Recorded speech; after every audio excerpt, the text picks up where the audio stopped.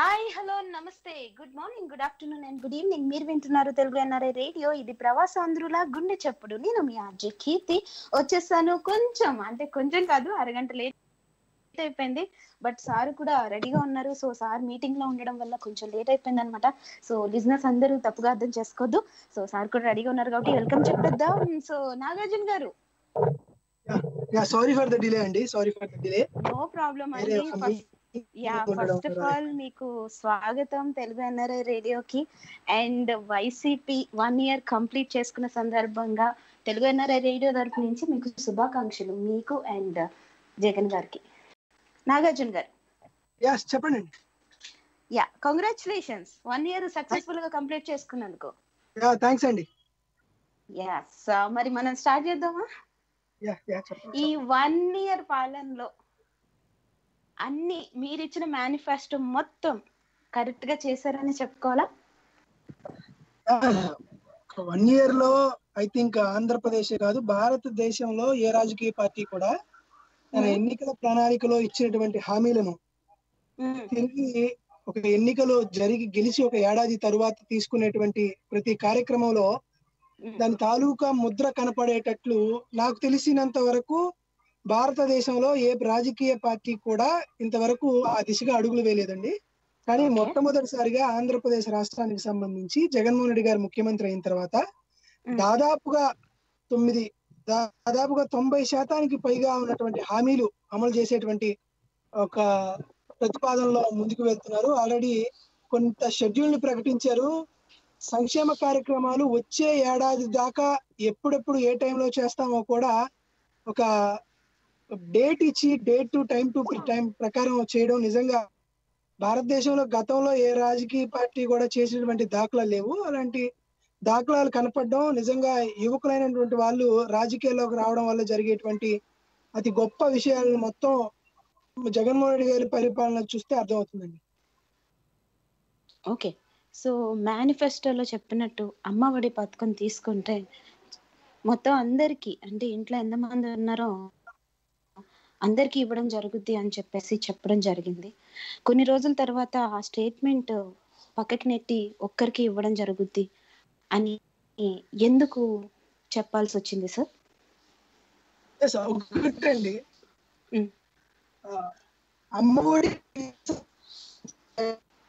మూడు వేల దాదాపుగా రెండు వందల నలభైకి పైగా పబ్లిక్ మీటింగ్లు కూడా అడ్రస్ చేసినప్పుడు జగన్మోహన్ రెడ్డి గారు మొట్టమొదటిగా మొట్టమొదటి రోజు నుండి కూడా చాలా క్రిస్టల్ క్లియర్గా తను చెప్తుంది ఏంటంటే ఒక తల్లి తన బిడ్డల్ని ఎంతమందికి పంపించినా కూడా ఖచ్చితంగా తల్లిని యూనిట్గా చేసుకొని ఎవరైతే పిల్లల్ని పంపిస్తున్నటువంటి తల్లికి పదిహేను వేల రూపాయల ఆర్థిక సహాయం చేస్తానని ప్రకటించడం జరిగింది కానీ ఒక విద్యార్థిని యూనిట్గా పరిగణలోకి తీసుకొని జగన్మోహన్ రెడ్డి గారు తన ఎన్నికల మేనిఫెస్టోలో కానీ ఎన్నికల ప్రణాళికలో కానీ తను తీసుకున్న నిర్ణయాన్ని మీరు మరొకసారి కూడా ఎన్ని ఆయన ఇచ్చినటువంటి రెండు వందల నలభై ఎన్నికల సభలో ఉన్నటువంటి ప్రతి ప్రసంగాన్ని మీరు చూసుకున్నా కూడా చాలా క్రిస్టల్ క్లియర్గా తను చెప్పింది ఒకటే. చదవడానికి తన పిల్లల్ని ఒక తల్లి పడే తాపత్రయాన్ని గుర్తించి తల్లికి ఇవ్వాల్సినటువంటి ఒక ఆర్థిక సహాయాన్ని ఇవ్వడానికి ఒక తల్లిని యూనిట్గా చేసుకున్నటువంటి చర్యలు జరుగుతుంది కానీ మరొక విధంగా ఆంధ్రప్రదేశ్ కాకుండా మరొక విధంగా ప్రతి విద్యార్థికి ఇవ్వాలి అనేటువంటిది జగన్మోహన్ రెడ్డి గారు ఫస్ట్ చెప్పలేదు. తను చెప్పినట్లు ఒక తల్లిని యూనిట్గా తీసుకొని అమ్మఒడి ప్రార అమ్మఒడి కార్యక్రమం ఇవ్వాలని మొట్టమొదటి నుంచి జగన్మోహన్ రెడ్డి గారు చెప్తున్నారు. అదే విధంగానే ముందుకెళ్ళారండి. ఓకే. సో ఇప్పుడు మన రైతు భరోసా కూడా కావచ్చు సార్. రైతు భరోసా అనేది చాలా కీలకం. రైతులందరికీ సపోర్టింగ్గా నిలుస్తుందని చెప్పి. నా క్వశ్చన్ ఏంటంటే కేంద్రం నుంచి వచ్చే డబ్బుని మీరు రైతు భరోసాకి ఇస్తున్నారా? లేకపోతే మీ ప్రభుత్వం నుంచి ఇస్తున్నారా? ఎంత ఇస్తున్నారు? వెరీ క్లియర్ అండి. జగన్మోహన్ రెడ్డి గారు నవరత్నాల ప్రకటన అనేది దాదాపుగా నాకు తెలిసిన రెండు వేల పదిహేడు వైఎస్ఆర్ కాంగ్రెస్ పార్టీ ప్లేనరీ సమావేశం పెట్టినప్పుడు మొట్టమొదటిసారి ఆంధ్రప్రదేశ్ రాష్ట్రంలో ఉన్నటువంటి రైతు చిన్న సన్నకారు రైతులకి ఆర్థిక సహాయం కింద పెట్టుబడి సాయం కింద కొంత అమౌంట్ ఇవ్వాలి అనేది మొట్టమొదటిసారిగా జగన్మోహన్ రెడ్డి గారు భారతదేశంలో ఏ రాజకీయ నాయకుడు అంటే తెలంగాణలో తెలంగాణలో వచ్చేటువంటి వాటికి ఇచ్చిన దానికి. అదే విధంగా ప్రధానమంత్రి గారు పిఎం కిసాన్ కంటే ముందు జగన్మోహన్ రెడ్డి గారు మొట్టమొదటిసారిగా ఈ రైతు భరోసా అంటే రైతు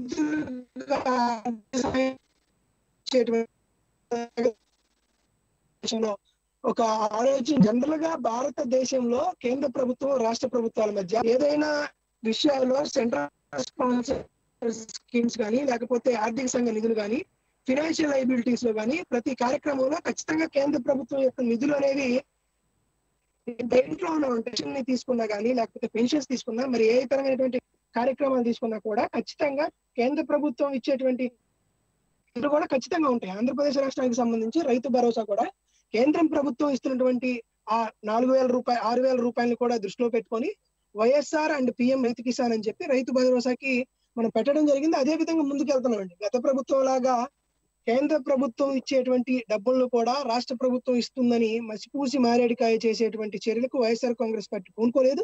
కేంద్ర ప్రభుత్వం ఇచ్చేటువంటి డబ్బులు కూడా పిఎం కిసాన్ అని వారు పెట్టినటువంటి నామధేయాన్ని కూడా వైఎస్ఆర్ రైతు భరోసా కలిపి కేంద్ర ప్రభుత్వం ఇస్తున్న డబ్బుల్ని ఆంధ్రప్రదేశ్ రాష్ట్ర ప్రభుత్వం ఇస్తున్న డబ్బుల్ని రెండింటినీ ఒకే తాటిపైకి తీసుకొచ్చి అనుకున్న దానికంటే పన్నెండు వేల ఐదు వందల రూపాయలు రైతులకి ఆర్థిక సహాయం కింద ఇవ్వాలి అనేటువంటి నిర్ణయాన్ని మళ్ళీ కూలశంగా చర్చించి మనం మూడు విడతలుగా నాలుగు విడతలుగా చేసుకుంటూ ఖరీఫ్ సీజన్కి కొంత రబీ సీజన్కి కొంత విడతల వారీగా ఇస్తుంటే రైతులకు ప్రయోజనం ఎక్కువగా కూడుతుందని రైతు సంఘాలు కానీ మిగతా వివిధ సంఘాలు కానీ చెప్పిన దాన్ని అర్థం చేసుకొని మనం ఇవ్వడం జరుగుతుందండి. ఖచ్చితంగా దానికి ఉన్నటువంటి పరిస్థితులన్నీ సెంట్రల్ స్పాన్సర్డ్ స్కీమ్స్లో ఇచ్చేటువంటి అవకాశాన్ని కూడా ఉపయోగించుకొని రైతులకు అందజేయడం జరుగుతుంది. సో అలాగే సార్ మీరు ఇల్లు స్థలాలు ఎవరికైతే లేని వాళ్ళకి ఇల్లు స్థలాలు ఇస్తానని ఏదైతే హామీ ఇచ్చారో సో రీసెంట్గా ప్రజల నుంచి వినిపిస్తుంది ఏంటంటే ఇంట్లో ఒక్క మహిళ ఉంటే వాళ్ళకి ఇల్లు స్థలాలు ఇవ్వడం జరగదని చెప్పి చెప్పడం జరుగుతుంది. సో దాని మీద మీ సమాధానం ఏంటి? అది చెప్పే కంటే ముందు మనకు ఒక కాలర్ ఉన్నారు తీసుకుందామండి. హలో అండి నమస్తే. ఎవరు మాట్లాడుతున్నారు? ఎక్కడి నుంచి? నమస్కారం అండి కీర్తి గారు. నా పేరు హర్ష అండి. నేను యూకే నుంచి మాట్లాడుతున్నాను. నమస్కారం అండి, నాగార్జున గారు. నమస్తే. అండి. ఫస్ట్ ఆఫ్ ఆల్ కంగ్రాచులేషన్స్ అండి మీ వన్ ఇయర్ అది పూర్తయినందుకు. సో నాది ఒక చిన్న ప్రశ్న అండి ఎక్కువ టైం తీసుకొని మీది. చెప్పండి. కేంద్రం నుంచి చాలా రాష్ట్రాలకి కొన్ని నిధులు వస్తాయి. ఎందుకంటే అది ఆటోమేటిక్ వస్తూ ఉంటాయి. కానీ ఆంధ్రప్రదేశ్కి వాళ్ళు ఇవ్వట్లేదు. మీరు ఎందుకు అడగట్లేదు ప్రభుత్వంతో అడగ అది భయమా గౌరవమా? సో వేరే రాష్ట్రాలు question? అదే నా క్వశ్చన్ అంతే. Thank you. అండి. చెప్పండి థ్యాంక్ యూ అండి హర్ష గారు థ్యాంక్ యూ సో నాగార్జున గారు ఆయన అడిగినట్టు మన తెలుగు రాష్ట్రాలు చూసుకుంటే మనకి ఆంధ్రప్రదేశ్ లోటు బడ్జెట్లోనే ఉందా అని అనుకోవాలి. మీరు వచ్చిన తర్వాత కూడా చాలా నష్టాల్లోనే ఉందని అనుకోవాలి. సో ఆయన అడిగిన దానికి మీరు సమాధానం చెప్పే కంటే ముందు ఇంకొక కాలర్ ఉన్నారు మాట్లాడదాం. హలో అండి నమస్తే. ఎవరు మాట్లాడుతున్నారు ఎక్కడి నుంచి? నమస్తే అండి నా పేరు బాబీ. నేను సౌదీ నుండి మాట్లాడుతున్నాను కీర్తి గారు బాగున్నారా? నేను బాగున్నానండి నమస్తే. సార్ నాగార్జున గారు ఎలా ఉన్నారు. బాగున్నారా? బాగున్నానండి. ఏం లేదు సార్ నాకు చిన్న డౌట్ సార్. చెప్పండి. ఇప్పుడే ఒక న్యూస్ చూడటం జరిగింది. సుప్రీం కోర్టు ధిక్కరించింది అని చెప్పేసి రంగుల కోసం హైకో కనిపించిన భవనాలకు పంచాయతీ ఆఫీసులకు రంగులు వేసినప్పుడు దాన్ని హైకోర్టులో మీరు పిటిషన్ వేసారు. హైకోర్టు మళ్ళీ నాలుగు వారాల లోపు ఈ రంగును తొలగించమంది. కానీ హైకోర్టు మాకు న్యాయం చేయలేదంటూ సుప్రీం కోర్టుకి వెళ్ళారు. ఇప్పుడు సుప్రీం కోర్టు కూడా నాలుగు వారాల లోపు ఆ రంగును తొలగించమంటుంది. మరి నెక్స్ట్ ఏమైనా ప్లాన్ చేస్తున్నారు సార్? ఐక్యరాజ్య సమితికి కానీ లేదా ఇంకా అలా పైకి వెళ్ళడానికి ఏమైనా? లేదా క్వశ్చన్ ఏమన్నా ఉందా అండి? ఇంకో క్వశ్చన్ కూడా అడిగేసండి. మనకి టైం కూడా చాలా తక్కువ ఉంది. అదండి ఒకటి వచ్చేసి రంగులతోటండి నెక్స్ట్ వచ్చేసి మద్యపానం నిషేధం చేస్తానని చెప్పేసి అన్న. తర్వాత నలభై రోజులు మద్యానికి అందరూ దూరంగా ఉన్నప్పుడు ఇదే. సరైన సమయం కదండి మద్యపానం నిషేధం చేయడం కోసం. కాకుండా అలా కాకుండా ఆలయాలు చర్చిలు మసీదులు మూసుండగానే ఈ మద్యం ఓపెన్ చేసి అది కూడా అధిక రేట్లు అమ్ముతూ ఏం సందేశం. ఇద్దాం అనుకుంటున్నారని నాకు అర్థం కావట్లేదు ఇది ఒకటి నాకు వచ్చినాయి రెండు. ఓకే అండి. వింటూ ఉండండి. సార్ చెప్తారు. ఓకేనా బాబీ గారు. థ్యాంక్ యూ సో మచ్ అండి. కాల్ చేసినందుకు. సో ముందుగా నాగార్జున గారు హర్ష గారు అడిగిన క్వశ్చన్కి ఆన్సర్ చెప్పండి. సో కేంద్రం నుంచి నిధులు కొన్ని రావాలి కానీ ఎందుకు తెచ్చుకోలేకపోతున్నారు? భయమా లేకపోతే గౌరవమా? ఒకటి వెరీ క్లిస్టర్ క్లియర్ అండి. ఆంధ్రప్రదేశ్ రాష్ట్ర ప్రభుత్వం భారతదేశంలో ఒక ఫెడరల్ సిస్టమ్ జరుగుతుందండి. ఏం ఫెడరల్ సిస్టమ్ అంటే ఆ ఒక రాష్ట్రానికి కేంద్రానికి మధ్య ఉన్నటువంటి ఆర్థిక రాజకీయ సామతుల్యాన్ని నిర్దేశించడానికి ఫినాన్స్ కమిటీ ఒకటి ఉంటుంది. అదే విధంగా ఇంతకు ముందు ప్లానింగ్ కమిషన్ ఉండేది. ప్లానింగ్ కమిషన్ తీసేసి నీతి ఆయోగ్ పెట్టారు. బట్ ఆ నీతి ఆయోగ్ కూడా ఫినాన్షియల్ డిస్ట్రిబ్యూషన్ ఏంటో తెలుస్తుంది. దీంతో పాటు మనకి ట్యాక్స్ షేరింగ్ ఉంటుంది. అది దానికి సంబంధించి ఫినాన్సెస్ కమిటీ కూడా forty two fifty eight ratios తీసుకున్నారు. అదే విధంగా స్థానిక సంస్థలకు కొన్ని నిధులు ఏర్పాటు చేయగలిగితే దానికి సంబంధించిన ఇష్యూస్ కూడా యాడ్ అవుతా ఉంటాయి. ఆంధ్రప్రదేశ్ రాష్ట్రానికి సంబంధించి ద ఫస్ట్ బడ్జెట్ అంటే ఒకే ఒక్క బడ్జెట్కి ఆంధ్రప్రదేశ్ రాష్ట్ర ప్రభుత్వం ఏర్పడిన తర్వాత కేంద్ర ప్రభుత్వంలో పెట్టడం జరిగింది. కేంద్ర ప్రభుత్వం పెట్టిన పెట్టిన తరువాత ఒకే ఒక్క బడ్జెట్ జరిగింది. ఆ బడ్జెట్కి సంబంధించినటువంటి ప్రతిపాదనలు కూడా ఆంధ్రప్రదేశ్ రాష్ట్ర ప్రభుత్వం చేకూరింది. ఫోర్టీన్త్ ఫైనాన్స్ కమిటీ పద్నాలుగో ఆర్థిక సంఘం ఇచ్చేటువంటి నిధులు కూడా ఆంధ్రప్రదేశ్ రాష్ట్రంలో స్థానిక సంస్థల ఎన్నికలు జరిగితేనే వచ్చేటువంటి ఆ, పరిస్థితులు ఉన్నా కూడా కరోనా సమయంలో వాళ్ళు కూడా టైం టు టైం ఇవ్వడం జరిగింది. అదే విధంగా మిగతా కార్యక్రమాలు పోలవరానికి సంబంధించి కానీ మిగతా ఏఐబిపి ప్రాజెక్టులు కానీ మిగతాకు సంబంధించినటువంటి పోర్టుకు సంబంధించిన విషయాల్లో కానీ అన్ని ప్రతిపాదనలు ఆంధ్రప్రదేశ్ రాష్ట్ర ప్రభుత్వం కేంద్ర ప్రభుత్వానికి ఇస్తుంది. కేంద్ర ప్రభుత్వం కూడా సానుకూలంగా స్పందిస్తుందండి. ఒకే ఒక బడ్జెట్ సమావేశం జరిగింది. ఆ బడ్జెట్ సమావేశం కూడా ఆంధ్రప్రదేశ్ రాష్ట్రానికి సంబంధించి ఏదైతే ఎన్నికల తరువాత జరిగినటువంటి ఎనిమిది నెలలకు కావాల్సినటువంటి మిగులు బడ్జెట్కి సంబంధించినటువంటి మొట్టమొదటి బడ్జెట్ సమావేశం జరిగింది. జగన్మోహన్ రెడ్డి గారికి కొత్తగా గౌరవం ప్రధానమంత్రి పైన ఏ మేరకు గౌరవం చూపించాలో అంత మేరకు గౌరవం చూపిస్తారు. ఏమైతే వరకు బాధ్యత వహించాలో ఆ మేరకు బాధ్యతగా వహిస్తారు. ఏ మేరకు హక్కుల కోసం పోరాడాలో అంతే హక్కుల కోసం పోరాడే దాంట్లో నిర్విధానంగా తోసిపుచ్చాల్సిన అంశం ఖచ్చితంగా పోరాడేటువంటి అవకాశం వస్తే ఖచ్చితంగా పోరాడడానికి ముందే ఉంటాం. దాంట్లో బేషేజాలకు పోవాల్సిన అవసరంలా ఇబ్బందులకు పోవాల్సిన అవసరంలా ఆంధ్రప్రదేశ్ రాష్ట్ర ముఖ్యమంత్రిగా జగన్మోహన్ రెడ్డి గారు పరు బాధ్యతలు స్వీకరించిన నాటి నుండి నేటి వరకు ఖచ్చితమైనటువంటి ఆలోచనతో ముందుకెళ్తూనే ఉన్నారు. అన్ని రకాలైనటువంటి సదుపాయాలు చేయగలుగుతున్నాం. నాకు తెలిసి చివరి ఎనిమిది నెలలకే మొట్టమొదటి బడ్జెట్ పెట్టింది. తర్వాత పెట్టేటువంటి బడ్జెట్లు కూడా ప్రతిపాదనలు ఇవ్వడం జరుగుతుంది. సాధ్యమైనంత వరకు ఉన్నంత వరకు కేంద్ర ప్రభుత్వం నుండి ఏ మేరకు నిధులు రావాలో ఆ మేరకు నిధులు రావడానికి ఖచ్చితమైనటువంటి ఒక విధి విధానాలతో మంత్రుల్ని అదే విధంగా బృందాల వారీగా సమీకరణ చేసి ఆ బృందాల వారీగా వివిధ వారికి వివిధ బాధ్యతలు అప్పగించి ఖచ్చితంగా రాష్ట్ర ప్రభుత్వం కేంద్ర ప్రభుత్వంతో సమన్వయంతో పనిచేసుకుంటూ ముందుకు పోయేటువంటి కార్యక్రమం జరుగుతుంది. ఈ ప్రక్రియలో ఎక్కడైనా సరే ఆంధ్రప్రదేశ్ రాష్ట్ర హక్కులకు విఘాతం కలిగితే నూటికి నూరు శాతం పోరాడి తెచ్చుకోవడానికి కూడా జగన్మోహన్ రెడ్డి గారికి ఎటువంటి బాధరాబందీ లేదు ఎటువంటి ఇబ్బంది లేదు.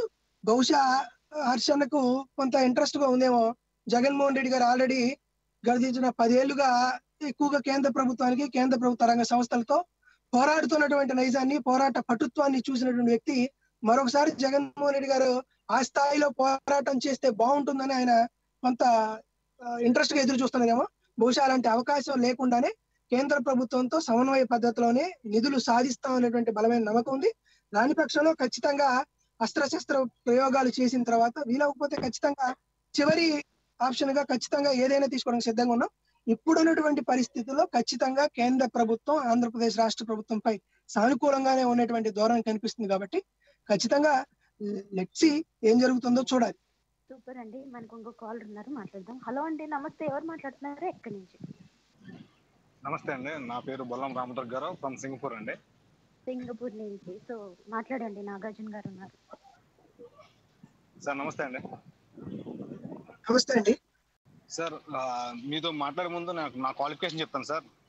నేను ఎంబీఏ చేశానండి. సింగపూర్లో కోఆర్డినేటర్ కింద వర్క్ చేస్తాను. సో మిమ్మల్ని. క్వశ్చన్ అడిగిన తర్వాత మళ్ళీ నీ స్థాయి ఏంట్రా క్వశ్చన్ చేసావు అంటారేమో అని ముందే చెప్తాను అనమాట నూటికి నూరు శాతం నూటికి నూరు శాతం చెప్తున్నానండి. ఎస్ నూటికి నూరు శాతం. చెప్పాల్సిన దాంట్లో మరొక విధానం లేకుండా చెప్తాం. దాంట్లో వేరేటువంటి బాధరాబందీ లేవు. ఆలోచన విధానాలు లేవు. ఖచ్చితంగా స్థాయికి మించినటువంటి ప్రశ్న ఎవరేసినా స్థాయికి పరిణితి లేనటువంటి ప్రశ్న ఎవరేసినా స్థాయిని ఆలోచించకుండా ఎవరైనా ప్రశ్న వేసినా అడగడానికి ఏ నాయకుడైనా సరే ఏ నటుడైనా సరే నాగార్జున యాదవ్ లేకపోతే వైఎస్ఆర్ కాంగ్రెస్ పార్టీ వారు ఎవరు వెనుకాడరు. ఖచ్చితమైన ప్రశ్న. ఖచ్చితమైన సమాధానం చెప్పడానికి ఎలాంటి అభ్యంతరం లేదు. బహుశా మీ మీ స్థాయి మీరు చెప్పేటువంటి శాలరీతోనో మీరు చూపించేటువంటి విషయాల్లో కాకుండా ఒక యూత్గా ఖచ్చితంగా మీరు ఇచ్చేటువంటి సలహాలు సూచన అధికార పక్షంలో పార్టీగా ఖచ్చితంగా ఆహ్వానిస్తాం. కానీ వేరేటువంటి రాజకీయ పరమైనటువంటి మాట్లాడితే ఆ స్థాయిలో కూడా బదిలీ సిద్ధంగానే ఉంటాం ఓకే ఓకే. నాగార్జున నాకు వింటేనే కదా సార్ మీకు అర్థమైంది నేను ఏమడుగుతున్నాను ప్లీజ్ ప్లీజ్ సో క్వశ్చన్ రాందర్ చెప్పకముందే గారు. స్థాయి గురించి చెప్తున్నారు కాబట్టి చెప్తున్నాను yeah yeah yeah okay okay. నేను నా నా స్థాయి నేను చెప్పలేదు సార్. అడుగుతారేమో అని ముందే భయం వేసి నా ఎడ్యుకేషన్ క్వాలిఫికేషన్ చెప్తున్నాను కాబట్టి. ముందే మీ క్వశ్చన్ చెప్పండి డైరెక్ట్ మనకి టైం కూడా లేదు.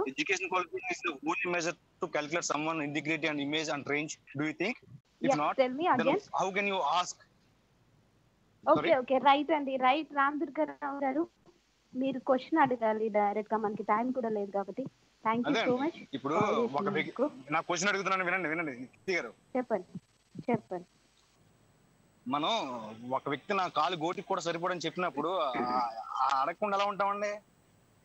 ఇప్పుడు ఇక్కడ రామ్ అదే దుర్గారావు గారు అది కాదండి సబ్జెక్ట్ రామ్ రామ్ దుర్గారావు గారు అది కాదండి సబ్జెక్ట్ ఆయన వచ్చింది.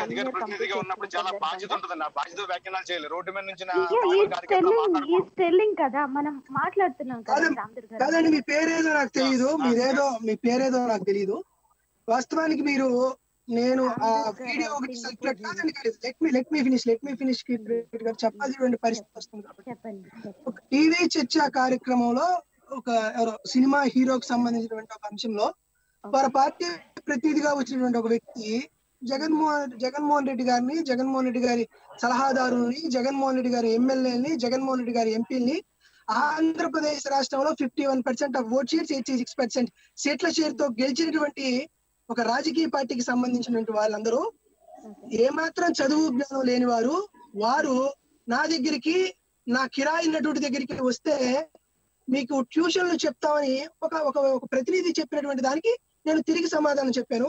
బహుశా వాళ్ళ ప్రతినిధి నేను తిరిగి సమాధానం చెప్పాను. 98% మా ఆ పార్టీలో ఉన్న వాళ్ళు కిరాయి రిలీఫ్ గురించి మాట్లాడాల్సినటువంటి స్థాయి ఐ థింక్ నాకు లేదనుకుంటున్నాను. తను అదేందో ఏమంటారు? నాటకాలు వేసుకునే అతను సినిమాలు తీసుకునే అతను ఓకే అతని గురించి okay okay. That is not subject అండి నాట్ ఎట్ ఆల్ ఆ సబ్జెక్ట్ పార్టీకి సంబంధించిన. ప్రతిదీ మాట్లాడినటువంటి మాటకి బదులిచ్చారే కానీ. అలాంటి వాటికి నేను సమాధానం నాగార్జున గారు ప్లీజ్ అండి మనం సబ్జెక్ట్ అది పక్కదారి పడుతుంది. ఆశిస్తున్నాను. నెక్స్ట్ నా క్వశ్చన్ రామ్ దుర్గారావు సార్. గారు మీరు క్వశ్చన్ అడగండి. నా క్వశ్చన్ అడుగుతున్నాను కీర్తి గారు. కనే చెప్పండి చెప్పండి. తొందరగా. టైం లేదు మనకి. ఓకే. ఇప్పుడు ప్రస్తుతం ఒక సాధారణ భవన నిర్మాణ కార్మిక కుటుంబానికి సంబంధించిన వాడిగా.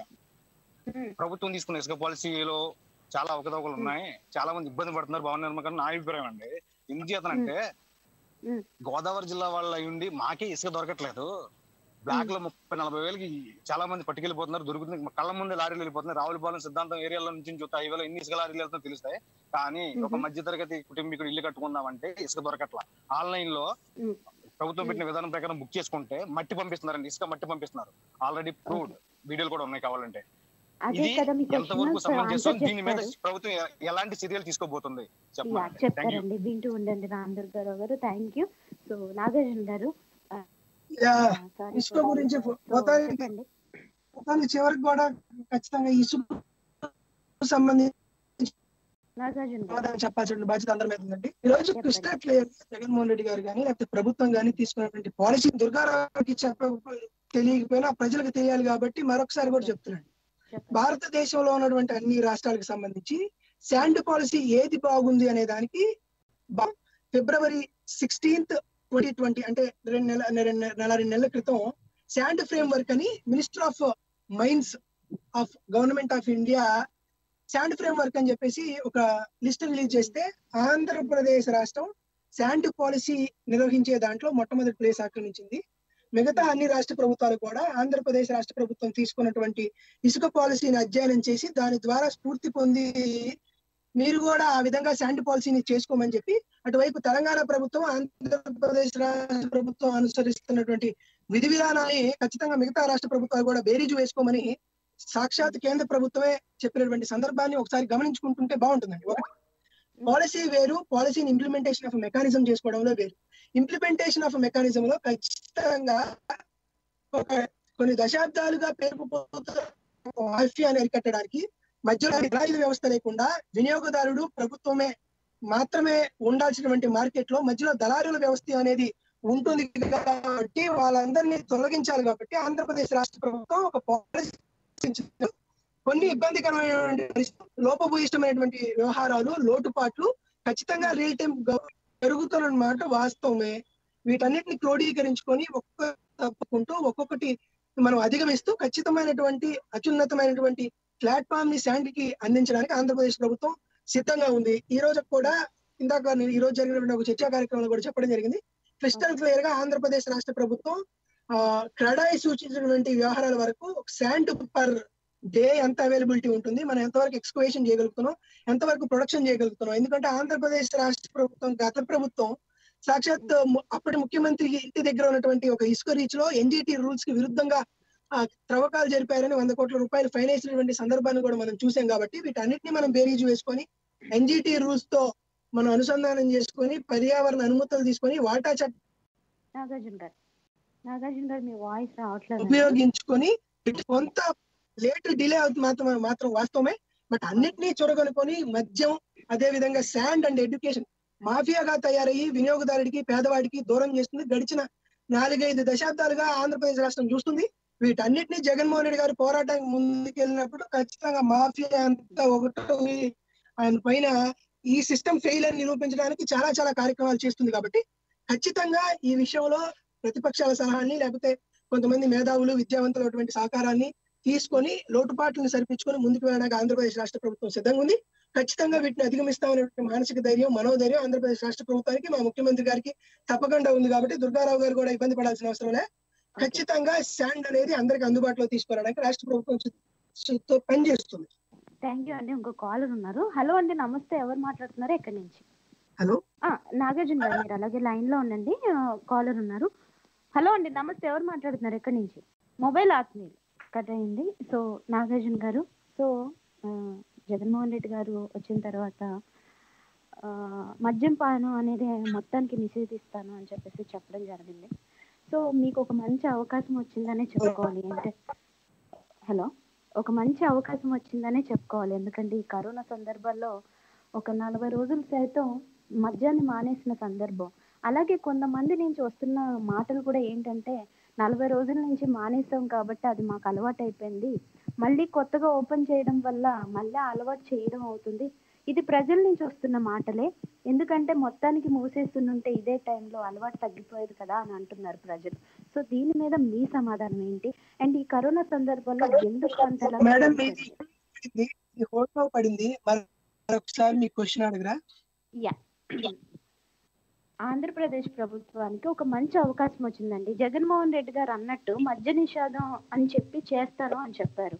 సో ఈ అవకాశం ఈ ఫార్టీ డేస్ లాక్డౌన్ సందర్భంగా మందు షాపులు అనేది మూసేశారు. సో మళ్ళీ మీరు రీఓపెన్ చేయడం వల్ల ప్రజల నుంచి వస్తున్న వాదన ఏంటి అంటే ఈ నలభై రోజులు తాకకుండా ఉన్నాం కదా మీరు తీయడం వల్ల మళ్ళీ మేము అలవాటు పడ్డాము. అదేదో మొత్తంగా మూసేసి ఉంటే మేము ఇలాగే ఉండేవాళ్ళం. మా భార్య బిడ్డల్ని కూడా మంచిగా చూసుకునే వాళ్ళము అని చెప్పడం జరిగింది ప్రజలు కొంతమంది నుంచి. దీనికి మీ ప్రభుత్వం ఏం సమాధానం చెప్తారు ఎస్ ఒకటి. ఒకటి చెప్తాను వినండి. మద్యం నిషేధం అనేది ఒక ఒక ఒక లాంగ్ టర్మ్ ప్రాసెస్ అంటే ఒక సంతకంతో జగన్మోహన్ రెడ్డి గారు కానీ లేకపోతే భారతదేశ ప్రధానమంత్రి కానీ ఎవరైనా కానీ మద్యపానాన్ని నిషేధించవచ్చు కాకపోతే WHO organisation world health organisations అనే అనేటువంటి సంస్థ భారతదేశమే కాదు ప్రపంచ దేశాలంతా ఒక మద్యపానం అనేది మనం నిషేధించాలి అంటే ఏ విధమైనటువంటి ప్రోటోకాల్ ప్రకారం ముందుకు వెళ్ళాలి అని చెప్పి ఒక పెద్ద ప్రాజెక్ట్ చేసి ఆ ప్రాజెక్ట్ అన్ని అన్ని రాష్ట్రాలకి అన్ని దేశాలకి సబ్మిట్ చేసినటువంటి పరిస్థితి ఒకటి నెలకొందండి. మీరు కూడా ఆన్లైన్లో టెస్ట్ చేస్తే తెలుస్తుంది. ఏంటి వారు చెప్తుంది? ద అవైలబిలిటీ ఆఫ్ లిక్కర్ అనేది తగ్గించాలి లిక్కర్ ప్రైసెస్ పెంచాలి. అదే విధంగా ఎక్కువ మంది ఇష్టపడేటువంటి లిక్కర్ బ్రాండ్ని అందుబాటులోకి ఉంచకూడదు అని చెప్పి ఒక దాదాపుగా ఒక లెంతీ ప్రాసెస్ని మనం మనకు చూస్ చేసుకున్నారండి. లెంతీ ప్రాసెస్కి మూలంగానే మనం ఆంధ్రప్రదేశ్ రాష్ట్ర ప్రభుత్వం కూడా మనం నాలుగు విడతల ద్వారా జగన్మోహన్ రెడ్డి గారు ఈ రోజు కాదండి చెప్పింది ఎన్నికల ప్రక్రియ కంటే ముందే తన ఉమ్. తను పాదయాత్ర మొదలు పెట్టిన కాడి నుంచి మూడు నెలల నుంచి నాలుగు నుంచి కూడా మేము మద్యపానం నిషేధం అనేది నాలుగు విధాలుగా చేస్తాం. నాలుగేళ్ళ నాలుగు విడతల తర్వాత కేవలం పెద్ద పెద్ద హోటల్స్లో మాత్రమే మద్యం అందుబాటులో అవుతుంది కానీ మామూలుగా బెల్ట్ షాపుల్లో కానీ చిన్న చిన్న వైన్ షాప్లో కానీ అందదు అని చెప్తూనే మద్యం తాగాలంటే షాక్ కొట్టే రీతిలో మేము ధరలు పెంచుతాం అనేటువంటిది కూడా క్లియర్గా చెప్పి ఆ విధంగా అడుగులు వేయడం జరుగుతుంది.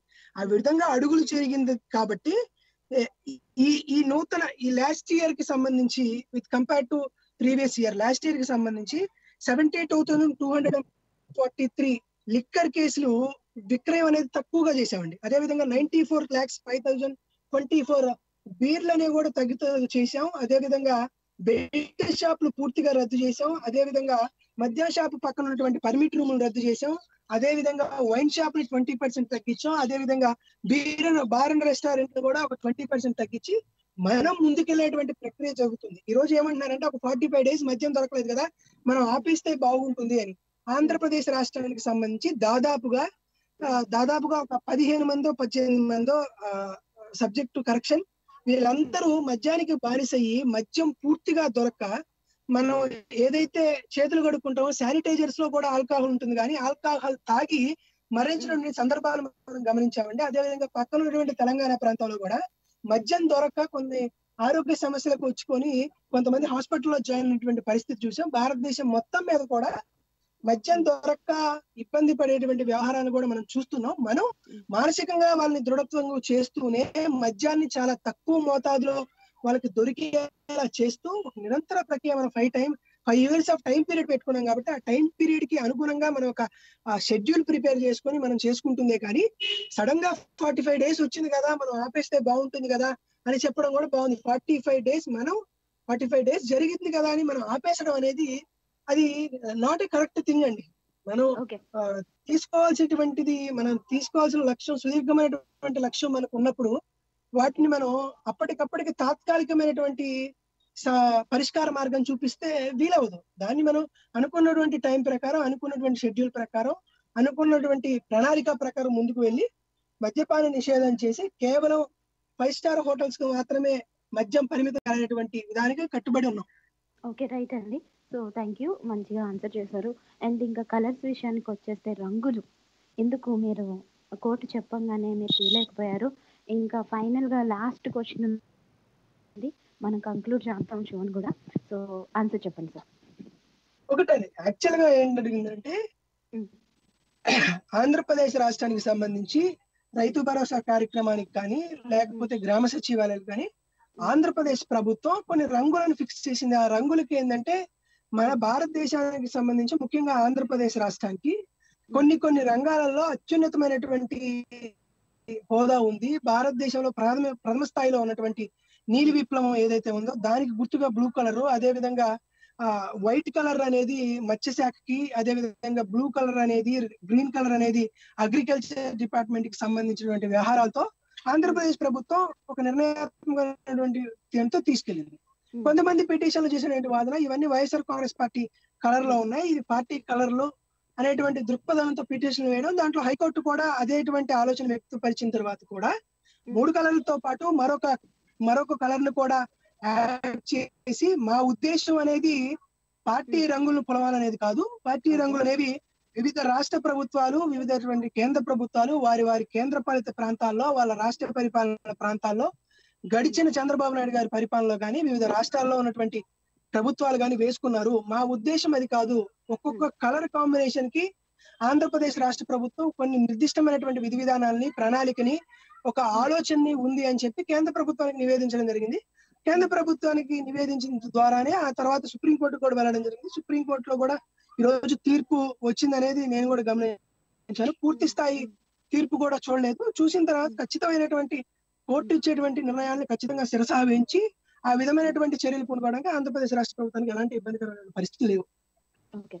Uh, అయితే ఇంకా లాస్ట్ ఫైనల్గా ఒకటే క్వశ్చన్ అండి. Uh, జగన్మోహన్ రెడ్డి గారు ఇచ్చిన మాట ఇరవై మూడు మంది అంటే ఎక్కువ శాతం ఎంపీలు వస్తే మెడలో వంచి నేను ప్రత్యేక హోదా తీసుకొస్తామని చెప్పడం జరిగింది. సో ఎందుకు? ఇప్పుడు మళ్ళీ అది వచ్చినా కూడా ప్రస్తావన వచ్చినా కూడా ఇప్పుడు మళ్ళీ మీరు ఖచ్చితంగా కేంద్ర ప్రభుత్వంతో మాట్లాడగలరా? స్పెషల్ స్టేటస్ గురించి? రెడ్డి గారు ఒకటి చాలా క్లియర్గా చెప్తున్నాను కదండి ఆంధ్రప్రదేశ్ రాష్ట్రాన్ని రాష్ట్రం జరిగినటువంటి సార్వత్రిక ఎన్నికలు జరిగినటువంటి ఫలితాలు వచ్చినటువంటి ఇరవై నాలుగు గంటల్లోనే ఆంధ్రప్రదేశ్ రాష్ట్ర ముఖ్యమంత్రిగా ఎలక్టెడ్ సీఎం గా ఉండి జగన్మోహన్ రెడ్డి గారు ప్రధానమంత్రి గారిని ఆం- భారతదే భారతదేశంలో ఉన్నటువంటి అప్పటి ఇప్పుడు హోమ్ మినిస్టర్ అయ్యారు. అప్పుడు భారతీయ జనతా పార్టీ అధ్యక్షులైనటువంటి అమిత్ షా గారిని కలిసి అడిగినటువంటి మొట్టమొదటిది ప్రత్యేక హోదా అండి. ఆంధ్రప్రదేశ్ రాష్ట్రంలో ఉన్నటువంటి ఏ రాజకీయ పార్టీ అయినా సరే ప్రత్యేక హోదా కోసం కోసం భుజం కలిపినటువంటి దాఖలాలు ఉన్నాయండి మొట్టమొదటి నుండి ఈ రోజు వరకు ఆంధ్రప్రదేశ్ రాష్ట్రానికి ప్రత్యేక హోదా హక్కు. దాంట్లో మరొక ఆలోచన లేదు. మరొక ఏ విధమైనటువంటి ప్రత్యామ్నాయ మార్గానికి కూడా వైఎస్ఆర్ కాంగ్రెస్ పార్టీ అంగీకరించదు. ఇప్పటిదాకా జ ప్రధానమంత్రి గారిని కానీ కలిసినటువంటి మూడు సార్లు కానీ అమిత్ షా గారిని కానీ కలిసినటువంటి నాలుగు సార్లు కానీ వివిధ కేంద్ర మంత్రుల్ని ఆర్థిక మంత్రుల్ని కలిసినటువంటి అన్ని సందర్భాల్లోనూ అదే విధంగా ముఖ్యమంత్రి సమావేశంలోను నీతి ఆయోగ్ సమావేశంలోను రాష్ట్ర ప్రభు రాష్ట్రానికి విచ్చేసినటువంటి ఫినాన్స్ కమిటీకి సంబంధించినటువంటి చైర్మన్ల విషయంలోనూ ఎక్కడ ఏ విధమైనటువంటి రాజ్యాంగపరమైనటువంటి ప్రతి వేదిక పైన ఆంధ్రప్రదేశ్ రాష్ట్రానికి సంబంధించిన ముఖ్యమంత్రి వర్యులు కానీ ఆంధ్రప్రదేశ్ రాష్ట్రానికి సంబంధించినటువంటి ఎంపీలు కూడా ఆంధ్రప్రదేశ్కి ప్రత్యేక హోదా అనేది ఖచ్చితంగా ఇవ్వాల్సిందే అని అన్ని వేదికల ద్వారా కోరారు కానీ ఏ రోజు యూటర్న్ తీసుకోలేదండి. ప్రత్యేక హోదా బదులు ప్రత్యేక ప్యాకేజీ ఉండను ప్రత్యేక హోదాకు సంబంధించినటువంటి లేకపోతే వేరే విధమైనటువంటి ఫినాన్షియల్ రిసోర్స్ ఇవ్వమను ప్రత్యేక హోదాకి ఆల్టర్నేటివ్గా మరొక ఆప్షన్ మాకు ఇవ్వండి అని గడిచినటువంటి చంద్రబాబు నాయుడు గారు లేకపోతే పవన్ కళ్యాణ్ గారు ఏదో చెప్పారండి. చంద్రబాబు నాయుడు గారు ముఖ్యమంత్రిగా ఉన్నప్పుడు Pawan Kalyan joint fact finding committee అని జేఎఫ్సి అని ఒక రిపోర్ట్ తయారు చేసి ఈ రోజు రెండు లక్షల కోట్ల రూపాయలు నాలుగు లక్షల కోట్ల రూపాయలు ఆంధ్రప్రదేశ్ రాని రావాలని ఆ రోజు డిమాండ్ చేసి ఈ రోజు సంవత్సరం పరిపాలన అయింది. భారతీయ జనతా పార్టీ పైన విమర్శలు చేస్తూ ఎన్నికలకు వెళ్ళి ఆ తరువాత భారతీయ జనతా పార్టీతో మరొకసారి పొత్తు పెట్టుకొని ఈ రోజు భారతీయ జనతా పార్టీతో కేంద్ర ప్రభుత్వంలో భాగస్వామిగా గారు చెప్పండి. కాబట్టి మిగతా రాష్ట్రానికి సంబంధించినటువంటి ప్రభుత్వాలు కానీ మిగతా రాజకీయ పార్టీలు కానీ దాంట్లో ఏమైనటువంటి వైవిధ్యమైనటువంటి ఆలోచన ఉన్నా కానీ ఆంధ్రప్రదేశ్ రాష్ట్ర ప్రభుత్వానికి ఎటువంటి ప్రత్యేక హోదా మీద ఎటువంటి రాజీ పడాల్సినటువంటి అవసరం అంత అగత్యం లేదు. ఖచ్చితంగా వైఎస్ఆర్ కాంగ్రెస్ పార్టీకి సంబంధించినంత వరకు ఎన్నికలకు ముందు ఏ రాజకీయ పార్టీ అయినా సరే కేంద్ర ప్రభుత్వము ఫామ్ చేయాలంటే ఖచ్చితంగా ఆంధ్రప్రదేశ్ రాష్ట్రానికి సంబంధించినటువంటి ఎంపీల మీద ఆధారపడాల్సి వస్తుంది. ఆ ఎంపీలు అత్యధిక ఎంపీలు కానీ నాకు వస్తే కేంద్ర ప్రభుత్వం ఆంధ్రప్రదేశ్ రాష్ట్ర ఎంపీల పైన ఆధారపడేటువంటి స్థితే గాని వస్తే మెడల వంచి ప్రత్యేక హోదా సాధిస్తామని చెప్పిన మాట వాస్తవమే. బట్ గ్రాచారమో అదృష్టమో దురదృష్టమో అనుకుంటే నరేంద్ర మోడీ గారి ప్రభంజనం వీస్తూ ఆంధ్రప్రదేశ్ రాష్ట్రానికి సంబంధించినటువంటి ఎంపీల నైతిక మద్దతు కానీ.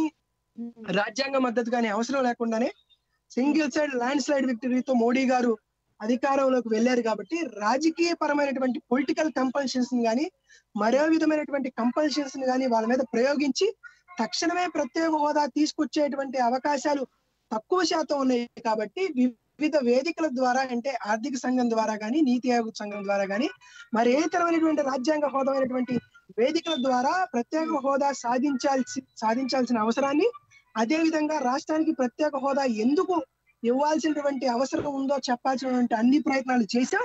అదే విధంగా మొట్టమొదటి ఎన్నికల మొట్టమొదటి అసెంబ్లీ సమావేశాల్లోనే కేంద్ర ప్రభుత్వంతో గడిచిన రా చంద్రబాబు నాయుడు ప్రభుత్వం పెట్టుకున్నటువంటి ఒప్పందమైనటువంటి ప్రత్యేక ప్యాకేజీని రిజెక్ట్ చేస్తూ ప్రత్యేక హోదానే ఆంధ్రప్రదేశ్ రాష్ట్రానికి ముద్దని అసెంబ్లీలో తీర్మానం చేసి కేంద్ర ప్రభుత్వానికి పంపించడం జరిగింది.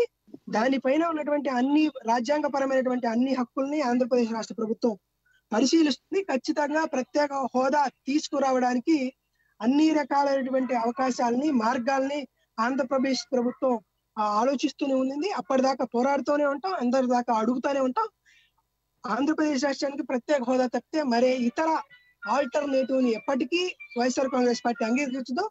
రాష్ట్ర ప్రభుత్వం దానికి సిద్ధపడదు. ఓకే. థ్యాంక్ యూ అండి. థ్యాంక్ యూ సో మచ్ చాలా చక్కగా చెప్పారు నాగార్జున గారు.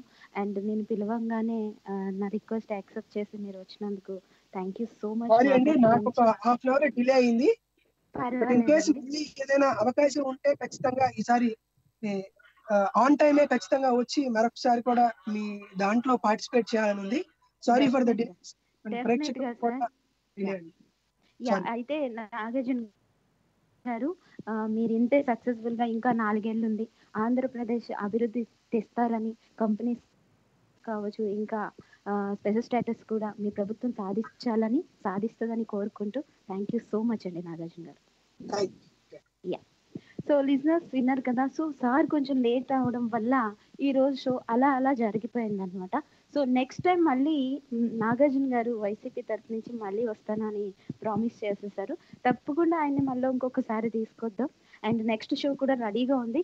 Sorry for the taking ten minutes extra Uh, so ఏమనుకోవద్దు నెక్స్ట్ షో ఎవరైతే ఉన్నారో నేనైతే ఇప్పుడు ముగించేస్తున్నాను. రేపు మరొక గెస్ట్ తోటి మీ ముందుకు వచ్చేస్తున్నాను అనమాట కరెక్ట్గా టైంకి వచ్చేస్తాను.